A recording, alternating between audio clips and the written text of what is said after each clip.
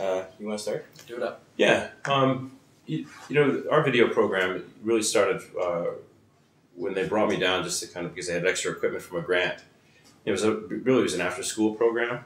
Um, when I got there, one thing I knew I, I wanted to do because I was coming from advertising, and I felt like everything was so meaningless. I was doing all these commercials for all these people, making lots, people lots of money, Yeah. and I thought to myself, "That's I'm not getting anything out of that."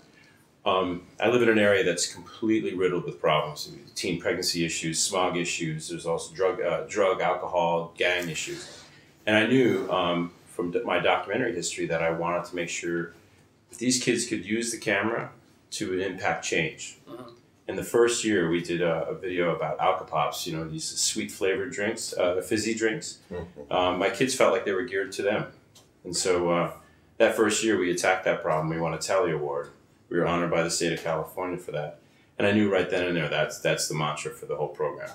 You know, learn learn video, learn or learn movie making skills, but then use it to impact that community that we live in. Yeah, It's um, it's similar in Hollywood. You know, a lot of people think, oh, you teach at Hollywood High, um, you must have like celebrities' kids. It's like no, they work there. They don't live there, so their kids don't go to school there, and so um, the kids that go there are, are ones that don't see that their indus- that the industry is accessible to them in Mhm. their backyard. And for me, I mean, my story, just in a nutshell, is that I went there, and I went there for a film program that wasn't there by the time I started school, and it was there when I signed up with the school, and wasn't there when I when I got there. And so when I got offered the job, um, you know, I didn't originally. I was like, nah, I don't want to go back there. Bad memories, you know, because I hated high school.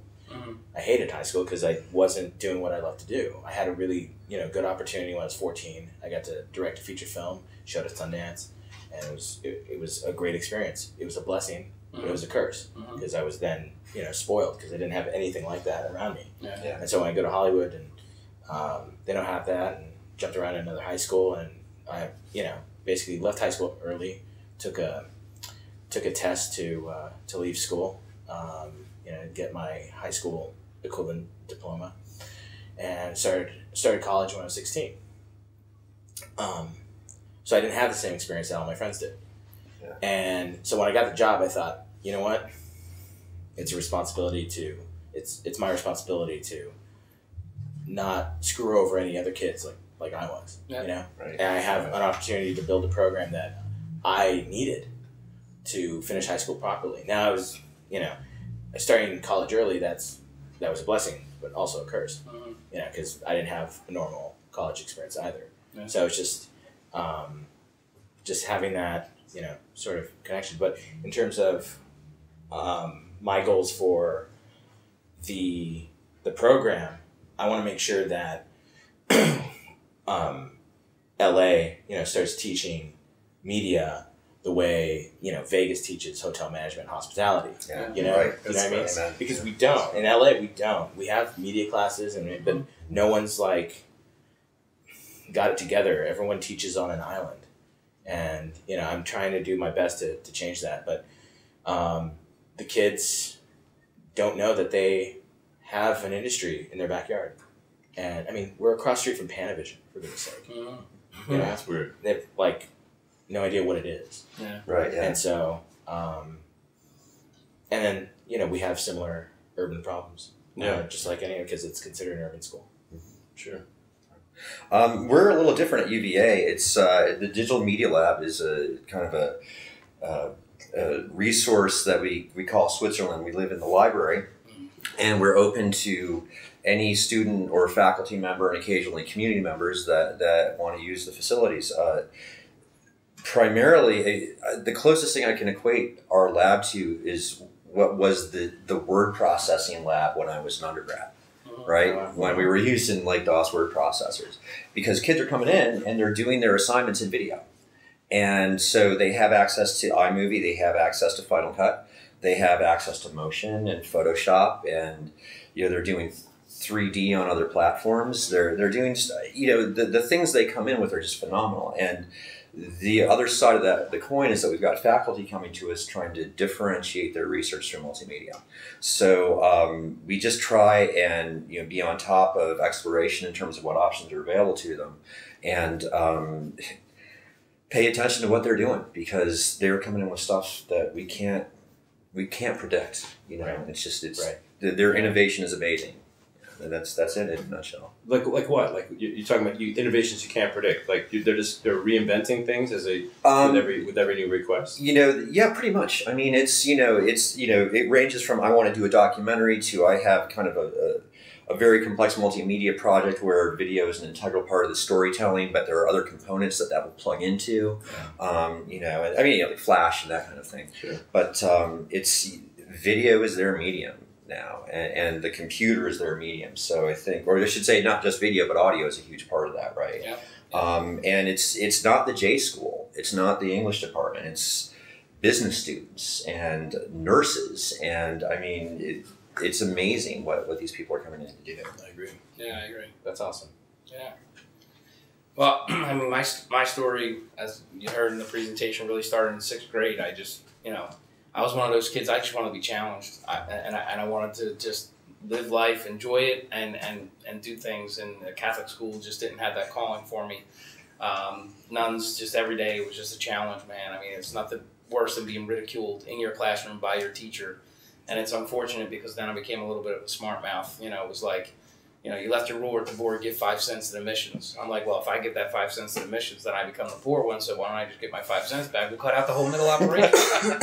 so, and that was a problem. For them. And that was a problem for them. They just didn't quite understand my philosophy. But uh, from that challenge of, of just being called stupid every day and just that I would never amount to anything, and it was just. Uh, one of those things that never in my life that I ever imagined I would be an educator. Because then when I went off to high school, I went to Roman Catholic High School in Philly, and it was like the premier boys' high school. And I had a different set of challenges. Uh, I was from South Philly, and a lot of the kids were from Roxborough and Fishtown, and you know it was constant battle every day and fighting every day. And it's just you know I was a straight A student with 160 demerits. How do you do that? You know what I mean? It was just Yeah. they're like we don't know quite know what to do with you. You know, you're like Oh you know, and uh, you know, the, the the only outlet I had is I played the drums, and I would tap on my desk all day, and then for some reason that made me the kid, you know, who was trouble.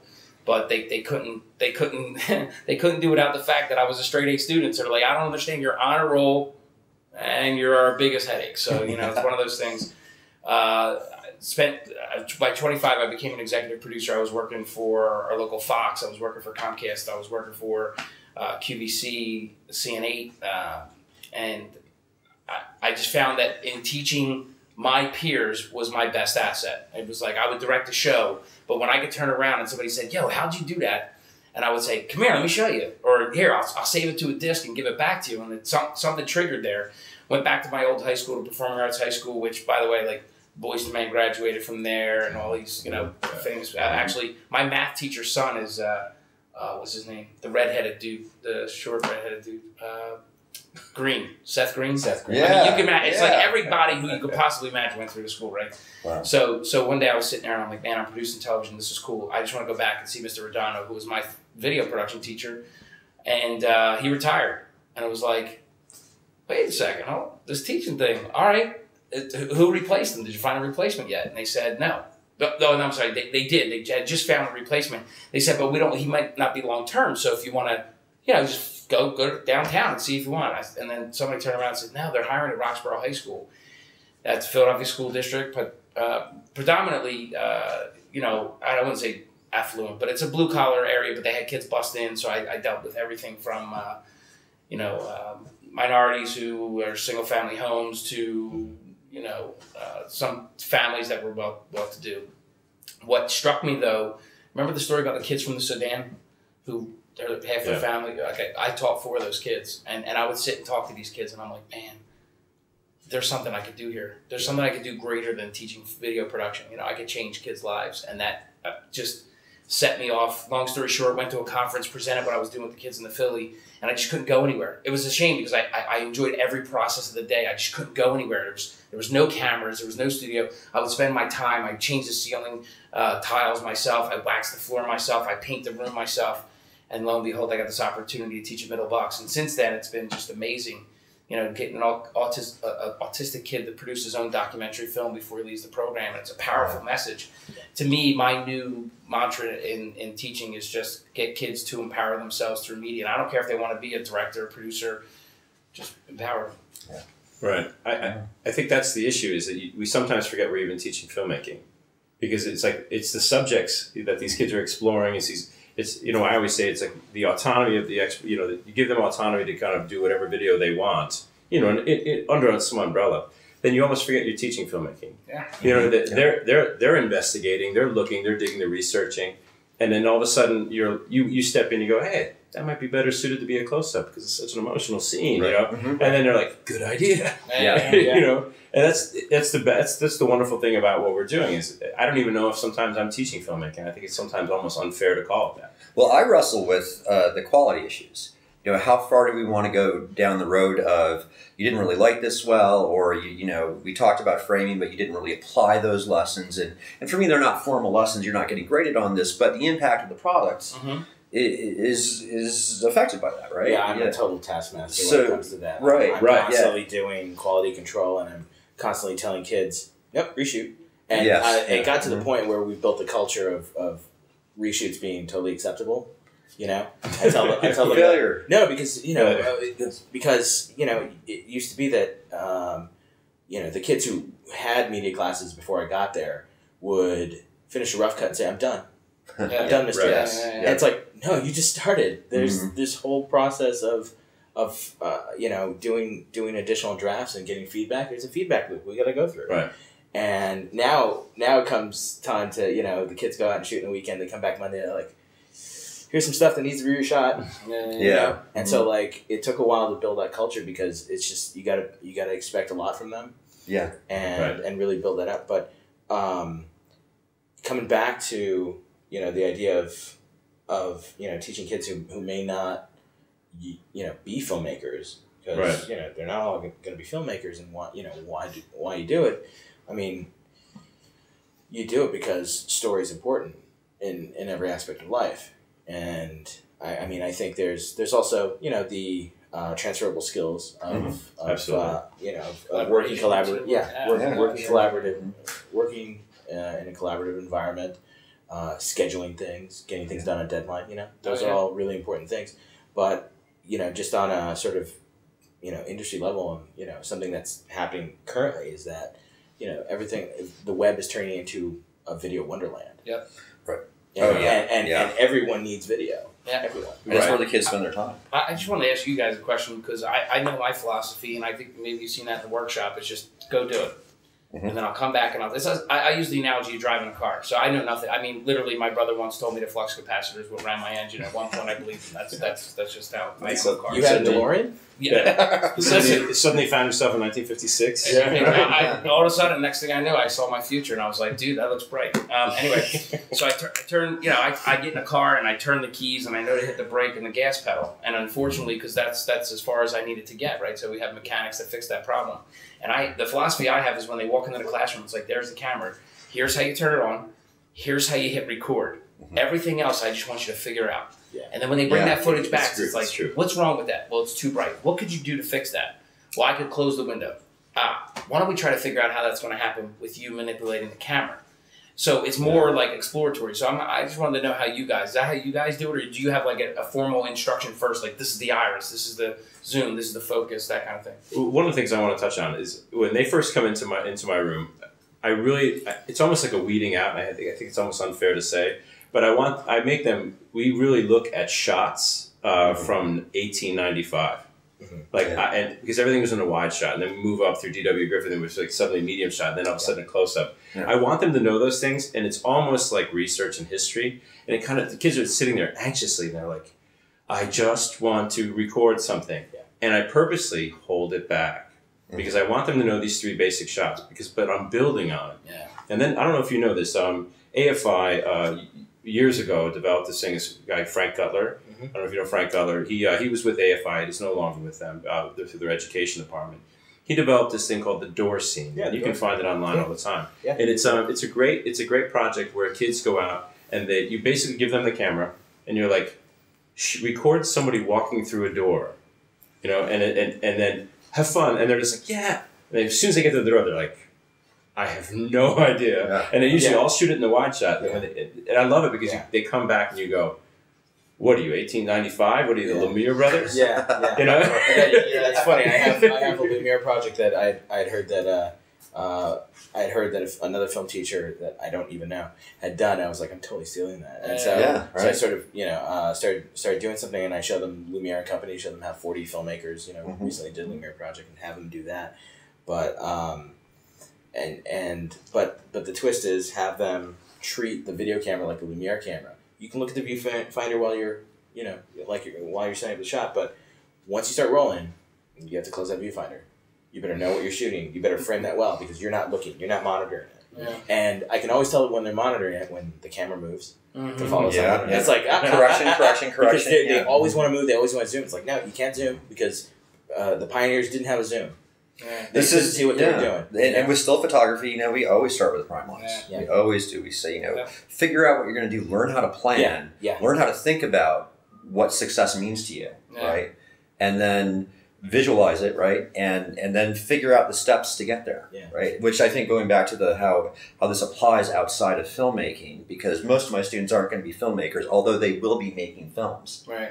Probably for the rest of their lives, given the way technology is going right now. Sure. So I mean, it's it apply, it applies. You know, to, to talk to what you were saying before when you when you spoke, it, it's about discovery learning.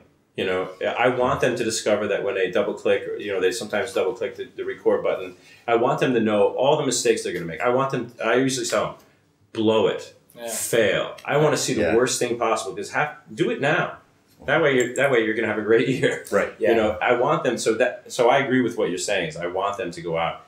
Just I give them the, the mechanics. I maybe tell them a couple things. I don't give them a tripod Yeah. you know, and uh, and I really don't talk about angles at that point yet. And I just say, okay, go go be go be successful. Go be the filmmaker you want to be. Well, like I was saying, I don't think it's a huge deal, but I, I, I didn't finish the analogy of my car breaks down on the side of the road. I don't know the first thing to do except to pop the hood and say, I see smoke, right? Right, yeah. So when you think about it, if, if somebody would have put me in that environment where, you know, here, before you drive this car, take the thing apart, you know, and then put the pieces back together. There go. And that's kind of how I see it because I find sometimes, eh, and, and I try to be entertaining when I when I lecture, and, I- and you saw my lectures more just hands on, but it's still that's that's boring. You know what I mean? It's like let me go and let me shoot, and when they come back and they go, now how can I fix that? To me, that's them engaging themselves in a process in which they're going to remember it now because they had a purpose.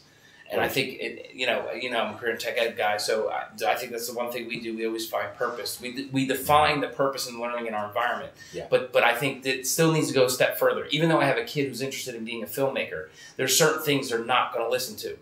So when they go out and they say, yeah, I, I had this whole lens family tree and how Uncle Iris did, relates to the. I mean, it was crazy Nice. but but it was boring. I mean, it didn't matter how entertaining I tried Yeah, to make it; it right. was still boring. So uh, it's like go out and explore. I send the kids in the parking lot. I said, "Here's what I want you to do. I want you to go out in the parking lot and make make a film."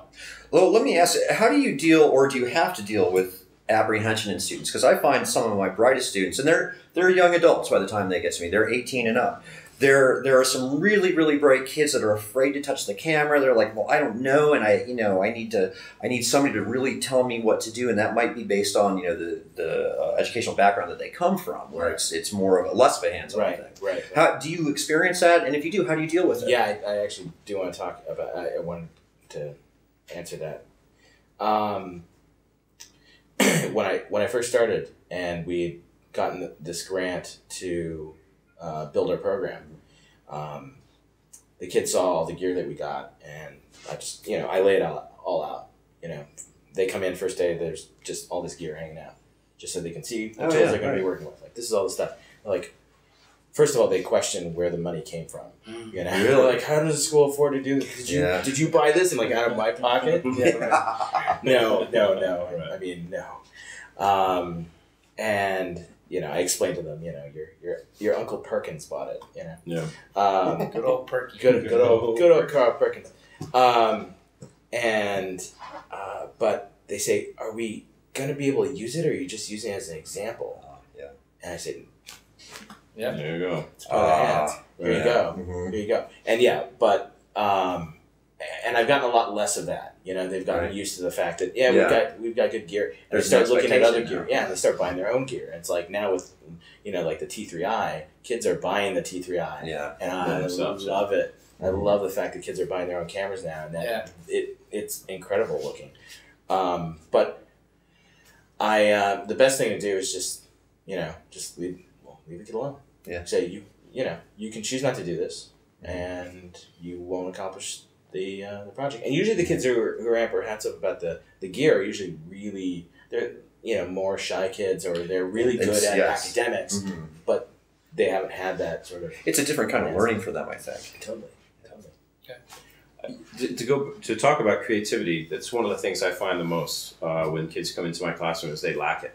You know, they, there's that whole thing with Sir Ken Robinson says we teach creativity out of kids, and when they get into my high school classroom in ninth grade, I, I see it all the, all over the place. And it, you, I try to I try, I try to start with creative exercises, like really to kind of reduce the fear of looking ridiculous. Mhm. You know, so I model it all the time. I look ridiculous all the time, and I love to be able to because because creativity is, is the key to what we're doing. Yeah. It's the key to that autonomy. It's the key to the to getting kids to go and create projects. uh, You know, with, um, at risk. You know, really risking themselves, risking their emotions, risking all these uh, the work.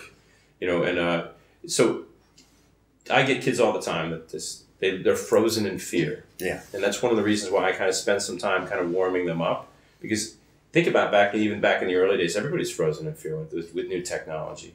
You know, I do also, I do believe that um, that if you teach the technology, which really comes around to Final Cut Pro, you know, Mhm. and you teach the technology, I believe that it opens the door to creativity. When you when you aren't limited by fear of not knowing how to use the tool, then um, then you stop yourself from going like as Disney, the big sky. You, you stop yourself from having the big sky moment.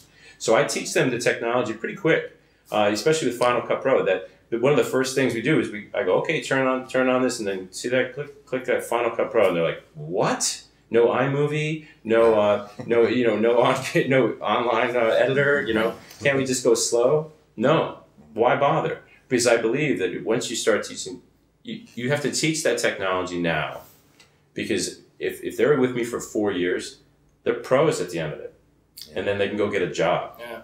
Yeah. So the question is: Is anyone here frozen in fear about Final Cut Ten? I'm actually. Wait a second. Yeah, reboot. Oh, okay. Wait, that made me a PC for a minute. Yeah. Oh, yeah, they did. got Well, one we back. we know that out. But uh, I'm actually I'm really excited about it. I was speaking to another um, pro apps trainer uh, from Ball State last night, and we talked about with our ADE projects. You know, we're we're probably all the uh, the resident editors in our teams this week, right? And Yeah. um, just because we know we can take that off everybody's plate, and that's that's one of the ways we can best contribute to that team. Right. And so John and I were talking about this last night, and we we were glad we didn't have it. We actually were able to. My first hands on with it was helping another team with a graphics problem, and Last we night. yeah we had to troubleshoot it the same way you troubleshoot it in any computer editing program. Right? They were panicked, but it's because they they don't know video, right? Right. Um, but the only reason I'm not using it this week is because you know we're all we've all worked as pro editors here on pro gigs, and you don't you don't just switch in the middle of a gig, right? And this this this show was too important, right? This we had to get this one delivered.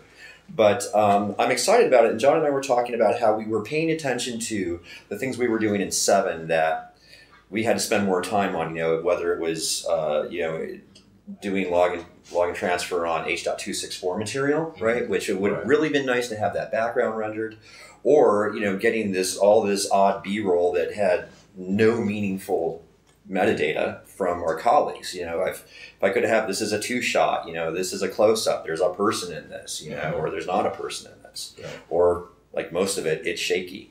you know, Exactly. so it would have, you know, it would that would have saved us tons of time, and that's time that we could have spent being creative. I, I work with a lot of Avid editors that, that are moving over in in my life as a pro apps trainer, and most of that work is just therapy. You know, I mean, most of that is is reminding them Four that step process. yeah, that they're Yeah. good at what they do, and that the platform is relevant, but it's not defining, right? And and so you know, I'm really excited about the new product because I see how my kids work in the lab, and they don't work.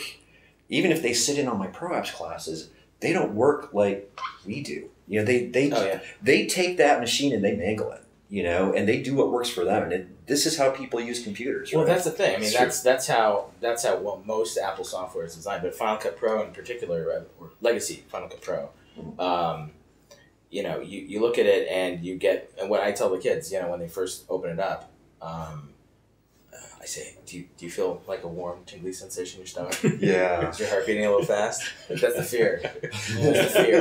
I say, I say, I say, remember that feeling, because you're gonna look fondly upon that Yeah. in Right. about a week when you're Yeah. much more comfortable with it. Yeah. But the thing I tell them is, like you know, um, I heard a, another trainer say, um, you know, Final Cut Pro is designed for you, which is why there are three, four, even five ways of how to do any particular command. Yeah. So it's like any way you want to do it, you can. But when we're teaching for certification, that doesn't mean you can't learn the other ways. Mhm. You have to because you want to be certified. You got to really know the design of the software to do this. Right. You know. Right. But um, you know, bring it to Final Cut 10. Um, I haven't been too exposed to it. I mean, I, I um, you know, I go to the LA Final Cut Pro users group meetings and um, watched, you know, Steve Martin's uh, tutorial and Yeah. Larry Jordan's tutorial, Mhm. and um, I'm really excited about the idea of teaching it. Yeah. Yeah. Yeah. But I'll be honest with you, I don't know how excited I am about working with it as an editor. And it, it has nothing to do with, uh, it probably has more to do with me just having an emotional connection with the software. Oh, yeah, having, absolutely. having been with it for, for so many years. And it's been such, it's been like that, it's been my partner in creativity. For me, it's like somebody's retuning my piano. And you know, the, the a major scale, I'm going to have to play different keys to actually make that major scale come out. Right? Yeah, it's like I found myself even when someone say, hey, how how'd you just do that?" I'm like, you know, uh, hold on a second. It was uh, I don't because it's so it's Yeah. yeah, Yeah, you right. just remember the keyboard Yeah. strokes, and that's just the way it was. I mean, Let Same me thing. do. yeah, right, yeah, exactly. Hold on a second. Let me now watch. I'm gonna look at the screen. I'm gonna Yeah. go like that. Now what did I just do? I don't remember. Yeah. Uh, but for me, it was like you know, it's just th- there was a lot of projects going. on. I'm very anxious to get there. It's just. Well, first of all, I'll be I'll, I'll, I'll be like six weeks without something to do, so I'll have more than enough time. Oh, right. for- You're gonna Yeah. it. But I mean, I'm, I'm one. I, I when I get to it, I want to be on it, Right. Yeah. Yeah. and I think that's that's why it's not on my machine yet. I, I know I could have installed it three weeks ago. I know I could have probably dabbled with it a little bit, but unless I know I'm going to have time to invest, it's going to scare me Yeah. because then I'm going to learn bit by bit by bit. Right. Let, let me ask you guys a question. What's your usual process? I mean, we've I'm sure we've all had to learn various systems. I myself learned on, on Media Composer and then um, you know looked at D-Vision for like five seconds and then uh, learned Media 100, then Final Cut. Yeah. Um, and I had a process in which I I learned all of them. I cut a project that was due. Right. You know, and and uh, I learned basically by the fact that you know Fear. the- no, just because you had to. You know, Need. like I had it. deadlines. I, Right, I, yeah. I have to Mhm. get this project done.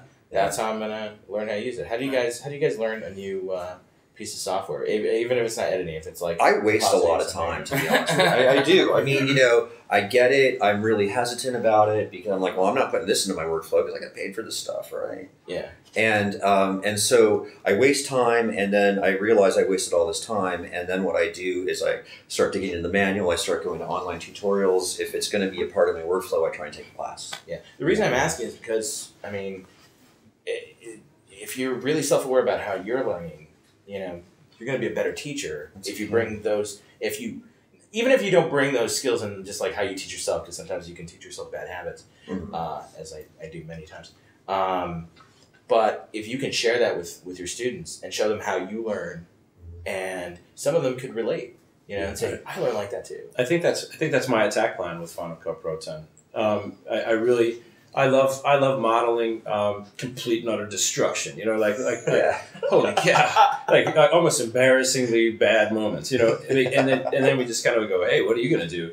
And then I, I so I'm I have a machine that I'm, I'm probably gonna load Lion, and I'm gonna go ahead and load uh, load up uh, you know Final Cut, and then um, I'm gonna stick it on my desk, and I'm gonna plug it into the projector, and I'm gonna get kids to come over, and we're gonna we're gonna start a project, Uh, and, and that's how I that's how I learn. I I, I start a project. I was going to say it's interesting because when we were talking about I'm packaging equipment and stuff like that. Like I let my students make the orders for me too. I mean, I'm like, hey, we need a DSLR. I have my student research the 5D. Yeah. Why am I getting the 5D over the 60D? You know, and and that process, they all know they all know what's coming. I mean, my students can't wait for the summer to end. They know what's coming, and I almost, I'll be honest with you, I, I almost want to play dumb when they walk in. Yeah.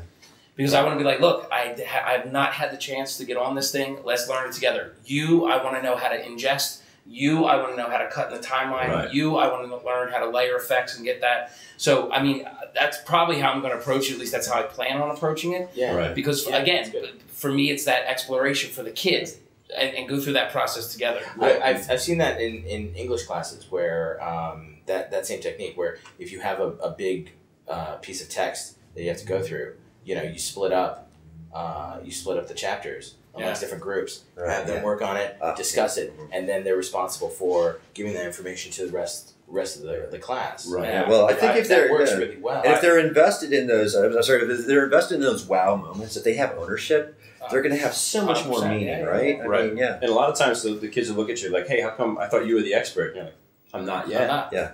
That's right. I'm Soon, working- we're not just- yet. Yeah. And it's funny because you said, how, how do you learn? Believe it or not, when five came out, I read the whole manual. The whole, Sure. I read every page of the manual, then watched the tutorials. It took me 15 years to figure that trick Wait, out. it's Yeah. better. I was like, what? What was I doing? I got, I got 25 kids that can learn each aspect of it. Teach me, you know. Yeah. But you're right. That's that ownership. Then, then they're gonna feel accomplished because they taught me something. I think That's that's great. You know what? I, I read about you. I read about um, The guy who read the manual. Yeah. Yeah, that was you. I saw a movie about that. Oh, God. yeah. It's Pretty good conversation. I'm looking forward to it. I, I, Yeah. I don't know if you guys Yeah. are, but it sounds like you're New media section on iTunes, you man. That's you know, like I said, we gotta. I think this. I think now's the time. New product, new tutorials for teachers, teaching teachers across all content. You How know to use Final Cut. This, this right here can be like seven episodes already. Yeah. Yeah. Exactly. I agree. Yeah, good I, times. I think Tim wants us to wrap up.